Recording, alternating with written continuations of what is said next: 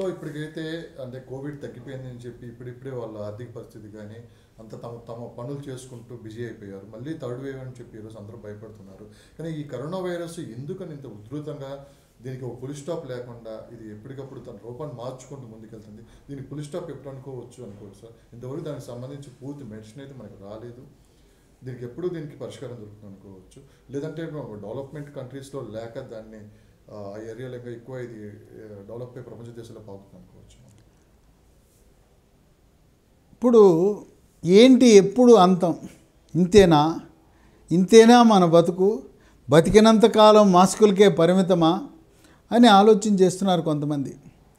అమెరికాలో ఫ్లూ జ్వరానికి ప్రతి సంవత్సరం కూడా టీకా వేస్తారు. ఆ ఫ్లూ సంబంధించిన వైరస్లు కూడా రూపాంతరం చెందుతుంటాయి ప్రతి సంవత్సరం మారుస్తుంటారు. అట్లాగే ఈ కోవిడ్ వైరస్ ఫ్లూ జ్వరానికి వైరస్ ఎలా రూపాంతరం చెందుతుందో ఇది కూడా చెందుతుంది. మనం కూడా తెలివితేటలతో ఉండాలి. మనము యాంటీబాడీస్ ఈ టీకాల ద్వారా అభివృద్ధి చేస్తే అది తెలివిగా యాంటీబాడీలను తప్పుకోవడానికి టీకాలను తప్పుకుని తిరగాలని రూపాంతరం చెందుతూ ఉంది. దొంగలు ఎట్లయితే ఒంటి మీద డ్రెస్సులు మార్చుకుంటారో మాస్కులు పెట్టుకుంటారో ఇది కూడా మనము దీంతో సహజీవనం చేయటం అలవాటు చేసుకోవాలి. సహజీవనం అనగా ఇది ఇంకా ఒక రెండు మూడేళ్ళు ఉంటుందని భావించండి. మాస్క్ ధరించాలి. మాస్క్ కూడా గుడ్డ మాస్క్ సర్జికల్ మాస్క్ నమ్ముకోకుండా ఎన్ నైంటీ ఫైవ్ మాస్క్ అని ఉంటుంది. ఎన్ నైంటీ ఫైవ్ మాస్క్ బాగా పనిచేస్తుంది. నూటికి నూరు రూపాయలు రక్షణ ఇస్తుంది. ఇది మందుల షాపులు అమ్ముతారు. కొంచెం ఖరీదు ఎక్కువ అయినా బాగా పనిచేస్తుంది. మాస్క్ ధరించండి. భౌతిక దూరం పాటించండి. అరవై సంవత్సరాలు దాటి దీర్ఘకాలిక వ్యాధులు ఉన్నవాళ్ళు ఇంటి పట్టున ఉండండి. శుభ అశుభ కార్యక్రమాలకు వెళ్ళవద్దు. ఒక డాక్టర్గా మీరు అన్నారు దీంతో సహజీవనం చేయాల్సిందే. ఇప్పట్లో పోయేటట్లు ఇది కనిపించట్లేదని చెప్పి అన్నారు మీరు ఈరోజు. అంటే ఇది ఎన్ని సంవత్సరాలు ఉండొచ్చు? దీన్ని ఎట్లా మనం ఎదుర్కోవాలని అంటే ఇప్పుడు మూడవ వేవ్ రాలేదు. కానీ మనకున్న సంకేతాలు ప్రపంచ ఆరోగ్య సంస్థ హెచ్చరికలు కేంద్ర రాష్ట్ర ప్రభుత్వాల హెచ్చరికల మేరకు మూడో వేవ్ వచ్చే అవకాశం ఉంది. నవంబర్ ఇరవైన ఇరవై ఇరవై ఒకటి నవంబర్ ఇరవై ఇరవై ఒకటి రోజున ఆరు వేల కేసులు పడిపోయినాయి కొత్త కేసులు. నూట యాభై మరణాలు. ఈ రోజున ఇరవై ఎనిమిది నవంబర్ వచ్చేసరికి ఆ కేసుల సంఖ్య పదకొండు వేలైనవి మరణాలు మూడు వందల దగ్గరకు వచ్చినాయి. అంటే మనం మూడవ వేవ్ వచ్చే అవకాశం ఉందని అప్రమత్తతో ఉండాలి కానీ భయపడద్దు భయాందోళనకు గురవ్వద్దు. ఇప్పుడు మనకు అనేక రకమైన అంటువ్యాధులు ఉన్నాయి. దోమల్ని మనం నివారించగలిగామా? దోమల వల్ల ప్రతి సంవత్సరము జూన్ నుంచి జనవరి వరకు అతలాకుతలం చేస్తూ malaria filaria chikungunya dengue ఇలాంటి దోమల వల్ల వచ్చే వ్యాధులు మరి వైరస్ల వల్ల వచ్చే వ్యాధులు అంటు వ్యాధులు ఉన్నాయి. టీబీ ఉంది. టీబీని మనం ఎన్ని ప్రయత్నాలు చేసినా ఉంది కదా. మిగతా జబ్బులు ఎలా ఉన్నాయో ఆ జబ్బుల్లా దీన్ని కూడా దీన్ని అధిగమించాలంటే మాస్క్ ధరించటం భౌతిక దూరం పాటించడం రెండు డోసుల టీకా వేసుకోవటం అవసరమైతే మూడో డోసు వేసుకుంటాం లేదు సంవత్సరానికి ఒకసారి టీకా వేసుకుంటాం. అంతేగాని భయపడాల్సిన అవసరం లేదు. ఇది అంతము లేని వైరస్లా కనపడుతుంది. కొంతమంది రాజకీయ నాయకులు పార్టీల వాళ్ళు ముఖ్యమంత్రులు ఆ పారాసిటమాల్తో తగ్గిపోతుంది. సహజీవనం చేయాల్సి వస్తుంది అని ఏదో అన్నారు యథాలాపనగా అన్నారు. కానీ ఈరోజు మనము ప్రపంచ దేశాలు మరొక రెండు సంవత్సరాల పాటు కొద్ది పరిమాణంలో ఇలాంటి రూపాంతరము చెందిన వేరియంట్ వైరస్లకు మనం సిద్ధమై ఉండి దాన్ని ఎదుర్కొనటానికి. వాళ్ళు ఎందుకు భయపడాల్సిన అవసరం లేదు. మూడో వేవ్ వచ్చినా రెండో వేవ్ అంత తీవ్రత ఉండదు. హాస్పిటల్లో అడ్మిషన్లు అవసరం ఉండదు. ఆక్సిజన్ అవసరం ఉండదు. స్వల్ప లక్షణాలు ఉంటాయి ఈరోజు టీకాలు కొరత లేదు. నూట ఇరవై ఐదు కోట్ల మందికి టీకాలు వేయటం జరిగింది. మరో నూట ఇరవై తొమ్మిది కోట్ల డోసుల టీకాలు రాష్ట్రాల యొక్క శీతల గిడ్డంగులు పంపించడం జరిగింది. కోవిడ్ టీకా కొరత లేదు. కోవిడ్ టీకా మనల్ని కాపాడుతుంది. ఒకవేళ దురదృష్టవశాత్తు కోవిడ్ పాజిటివ్ అయినా మోనోక్లోనల్ యాంటీబాడీ భారతదేశంలో తయారీ ప్రారంభిస్తే డెబ్బై ఐదు వేలు బదులుగా మనం తయారు చేస్తే ఏడు వేల రూపాయలకి అందుబాటులోకి వస్తుంది. ఏం గొప్పది కాదు మనం కూడా చేయొచ్చు అది. రైట్ ఇప్పుడు దక్షిణ ప్రభుత్వం అయితే ఒక స్పష్టమైన మెసేజ్ అయితే ఇచ్చింది. అంటే మరణాల రేటు చాలా తక్కువ ఉంది మీరు అనుకున్నంత ఎఫెక్టివ్గా అయితే ఇది లేదని చెప్పి కూడా అంటున్నారు. కానీ ప్రపంచ దేశాలు ఏ దేశం నమ్మట్లేదు. ఇప్పటికే కొన్ని ఆంక్షలు అయితే విధించింది.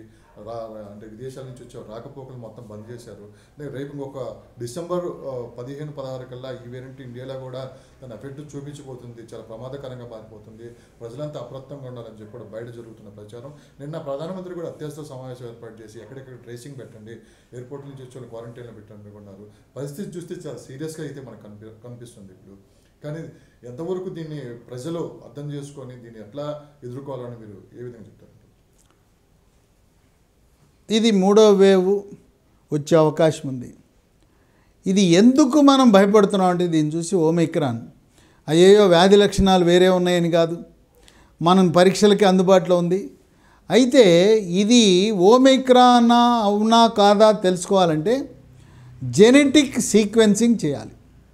జెనెటిక్ సీక్వెన్సింగ్ చేయాలంటే మనం ప్రతిరోజు దాదాపు పదిహేను లక్షల టెస్టులు చేస్తున్నాం. పదిహేను లక్షల టెస్ట్లో ఇప్పుడు పదకొండు వేలు పాజిటివ్ వచ్చినాయి. పదకొండు వేల మందికి జెనెటిక్ సీక్వెన్సింగ్ చేయడం సాధ్యపడదు. కేవలం ఇరవై ఐదు కేంద్రాలు ఉన్నాయి. జెనెటిక్ సీక్వెన్సింగ్ చేస్తే అది ఓ మైక్రాన్ అని. బి ఒకటి పాయింట్ ఒకటి పాయింట్ ఐదు ఈ రెండు తొమ్మిది అని తెలుస్తుంది. ఇప్పుడు దీని గురించి ఎవరు భయపడాల్సిన అవసరం లేదు. ఒకటే భయం.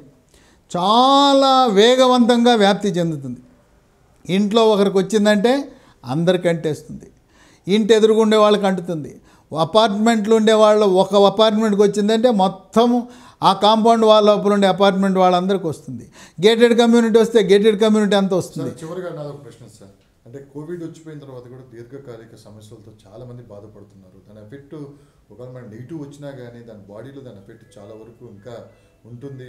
ఆర్గాన్స్ మొత్తం పాడైపోతున్నాయని చెప్పి కూడా చా- ఇప్పుడున్న రిపోర్ట్స్ ప్రకారం చూసుకున్నామంటే చాలామంది కోవిడ్ వచ్చి పోయిన పేషెంట్లు కూడా చాలామంది చెప్తున్నారు. అంటే ఈ థర్డ్ వేవ్ కూడా వస్తుంది. ఇలాంటి కోవిడ్ వచ్చి పోయిన కూడా మళ్ళీ ఈ కోవిడ్ మళ్ళీ వచ్చే అవకాశం ఎక్కువ శాతం ఉందని చెప్పి కూడా ఇప్పుడు ప్రపంచ దేశాలన్నీ నమ్ముతున్నాయి. అంటే ఒకసారి కోవిడ్ వస్తే మళ్ళీ రాదని గతంలో మనం మీరే చెప్పారు. కానీ ఇప్పుడున్న పొజిషన్లో రెండు డోసులు వేసుకున్నా కోవిడ్ వచ్చిపోయినా కానీ కంపల్సరీ మళ్ళీ ఈ థర్డ్ వేవ్లో కోవిడ్ మళ్ళీ వచ్చే అవకాశం ఉందన్నారు. అంటే బాడీలో ఆర్గాన్స్ ఎందుకు డ్యామేజ్ అయిపోతున్నాయి? కోవిడ్ వచ్చిపోయినా కానీ ఆ కోవిడ్ సిమ్టమ్స్ ఇంకా అంతే బాడీలో ఎందుకు ఉంటున్నాయి అనుకోవచ్చు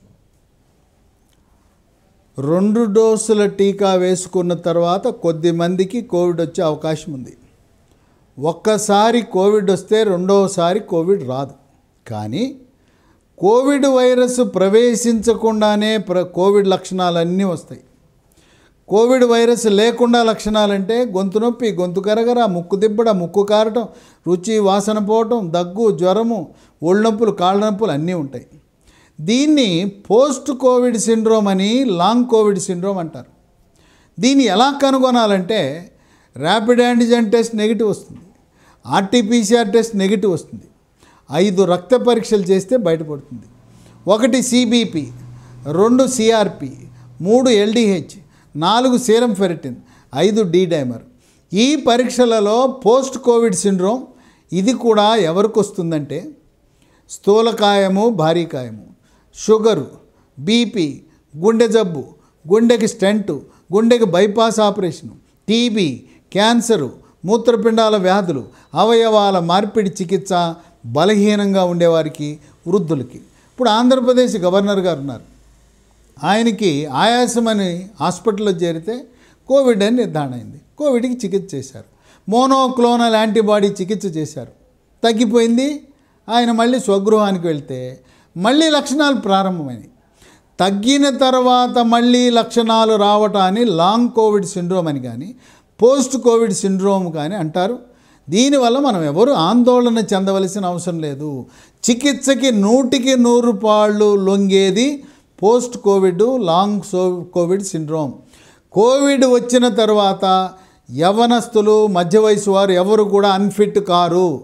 లక్షణాల వల్ల వాళ్ళ యొక్క ఆరోగ్య పరిస్థితి ఏమీ క్షీణించదు. వృద్ధులు దీర్ఘకాలిక వ్యాధులు ఉన్నవాళ్ళు దురలవాట్లు ఉన్నవాళ్ళు సిగరెట్టు బీడి చుట్టా గుట్కా పాన్ పరాగ నస్యం జరదాకిళ్ళి కారాకిళ్ళి.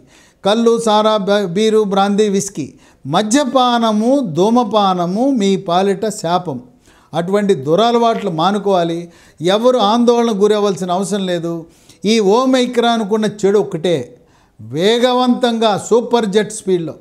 డెల్టా వైరస్ ఒకటి ఒకటి పాయింట్ దాని వేగము విస్తరణ వేగం. కానీ ఈ ఓమిక్రాన్ యొక్క వేగము రెండుంది. దాన్ని ఆ వైద్య పరిభాషలో శాస్త్రీయంగా ఆర్ఓ అంటారు. ఆర్ఓ డెల్టాకి ఒకటిన్నర ఉంటే దీనికి ఆర్ఓ రెండు ఉంది అంతకు మినహాయించి ఎవరు భయపడాల్సిన అవసరం లేదు. హాస్పిటల్ అడ్మిషన్ వద్దు. మరణాలు తక్కువ ఉంటాయి. ఆక్సిజన్ అవసరం తక్కువ ఉంటుంది. రెండో వేవులా మనకి మన దేశంలో సంఖ్య పెరిగినా కేసుల సంఖ్య మనం నిబ్బరంగా నిశ్చింతగా ఉండొచ్చు. రెండు డోసుల టీకా తప్పనిసరిగా వేసుకోండి. ఇది పరిస్థితి. అంటే దేశంలోకి థర్డ్ వేవ్ వచ్చిందని చెప్పి ప్రచారం అయితే జరుగుతుంది. అంటే మీకు డిసెంబర్ కానీ జనవరి మా జనవరి మార్చి కల్లా ఇది పీక్ స్టేజ్కి వెళ్తుందని చెప్పి చాలా మంది భయపడుతున్నారు. ఏదైనా కానీ ప్రజలైతే అప్రమత్తంగా ఉండాలి సోషల్ డిస్టెన్స్ పాటించాలి మాస్కులు ధరించాలి అని చెప్పి డాక్టర్స్ కూడా చెప్తున్నారు. కానీ ఇప్పటికైతే కోవిడ్ నుంచి మనం పూర్తిగా బయటపడలేదు. దీని వేరియంట్స్ మారుస్తూ ఉంది. ప్రమాదకరంగానే ఉందని చెప్పి అన్నారు. ప్రజలైతే అప్రమత్తంగా ఉండాలని doctor over to studio Hey everybody, this is me Noel. Please like, share, and subscribe to Mirror TV.